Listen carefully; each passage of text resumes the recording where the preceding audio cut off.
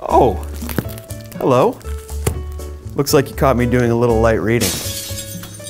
I'm the new planning director for North Liberty, in case you haven't heard.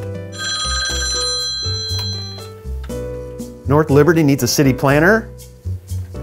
I'm there. I know when young kids are asked what they want to be when they grow up, top three answers are likely TikTok star, professional athlete, and city planner. What's that? No one's ever said that? Really? You know, come to think of it, I'm not sure my wife and kids actually know what I do. As a city planner, I help plan North Liberty's future by recommending placement of such infrastructure as roads, trails, and parks, and where businesses and houses should be. In a nutshell, my job is to make sure North Liberty is a great place to live, work, and just have fun. I think it's time to look toward the future. That's us.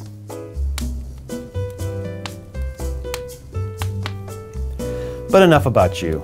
Let's talk about me.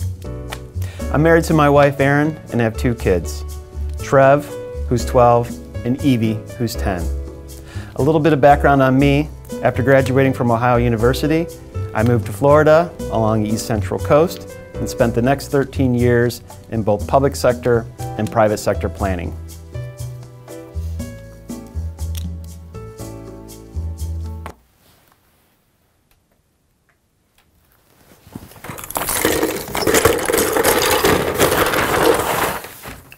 I'm planning.